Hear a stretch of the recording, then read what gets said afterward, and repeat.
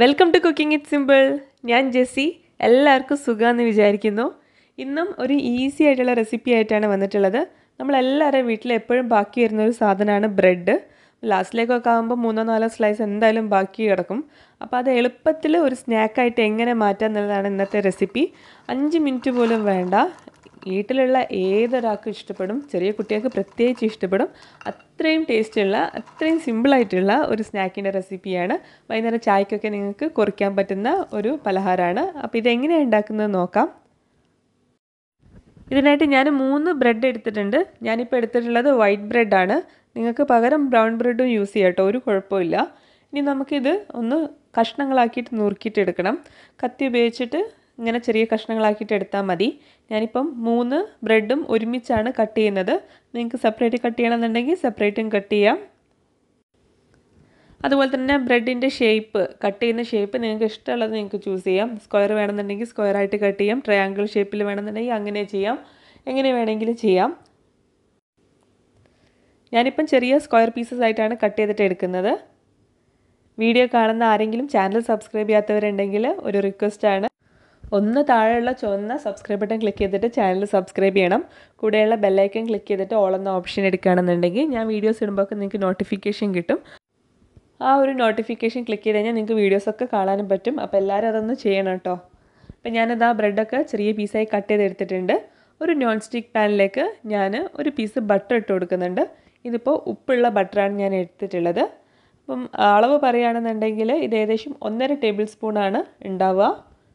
ഈ ബട്ടർ നമുക്ക് ഒന്ന് ചെറിയ ഫ്ലെയിമിൽ മെൽറ്റ് ചെയ്തിട്ട് എടുക്കാം പാന് ചൂടായതിന് ശേഷം വേണം ബട്ടർ ഇടാനായിട്ട്.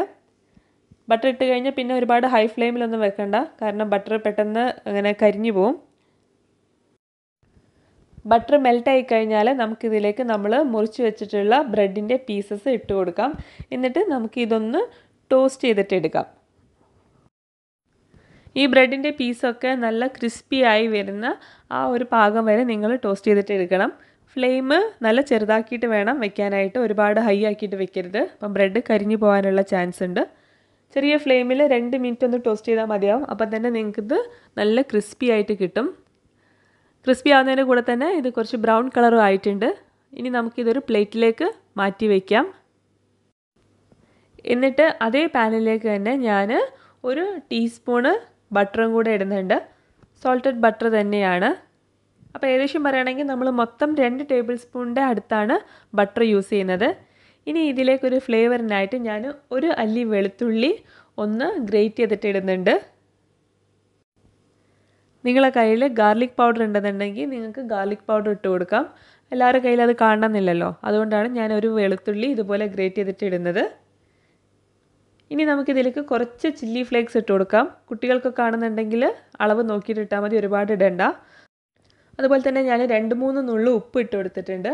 പിന്നെ ഇതിന് ആ ഒരു സ്നാക്കിന്റെ ചട്പട്ട ഫ്ലേവർ കിട്ടാനായിട്ട് ഒരു മൂന്ന് നാല് നുള്ള് ചാട്ട് മസാല കൂടെ ഇടുന്നുണ്ട്. ചാട്ട് മസാല നമ്മൾ സാധാരണ ഫ്രൂട്ട് സലാഡിലൊക്കെ യൂസ് ചെയ്യുന്ന സെയിം തന്നെയാണ്. കടകളിൽ നിങ്ങൾക്ക് എളുപ്പത്തിൽ വാങ്ങിക്കാനായി കിട്ടും ചാട്ട് മസാലയുടെ ഫ്ലേവർ ഇഷ്ടമില്ലാത്തവർക്ക് മിക്സ് ഹെർബിന്റെ ഒരു മൂന്നാൽ നുള്ളു ഇട്ട് കൊടുത്താൽ മതിയാവും. അതിന് വേറൊരു ഫ്ലേവറാണ് ഉണ്ടാവുക. ചാറ്റ് മസാല ആണെന്നുണ്ടെങ്കിൽ നമുക്ക് നല്ല ഒരു ചട്പട്ട ഫ്ലേവർ ഇതിന് കിട്ടും.